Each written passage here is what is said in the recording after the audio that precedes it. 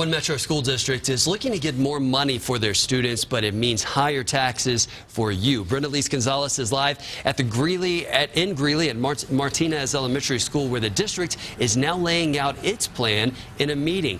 Now, how are they planning to use this money, Brendaliss? Well, they want more computers and faster internet speeds. In some schools, students are having to wait up to 20 minutes just to upload something. But they've already asked for money before, back in 2009, and voters said no. Now they're asking for a second chance. Our students deserve to have more here. Right now, every one of these Greeley Evans District students gets close to $7,000 from state funding.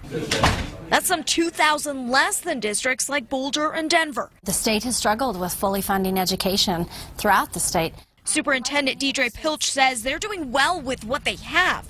Our kids are excelling. But they could do even more with more computers and textbooks that aren't a decade old.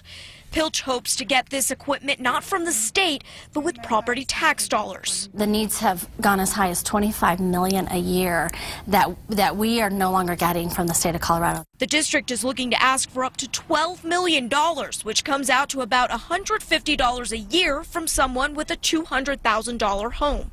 I look at my kids' future, and so we need an educated workforce to attract industry.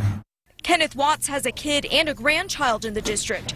He's on the committee that will help the school board decide whether to put the mill levy up for a public vote this November. And when I see the, the, the budget that the state gives us to operate on, it's almost criminal. we definitely need this. Pilch agrees. Her students are worth it. This is our community, and this will be an investment in our children.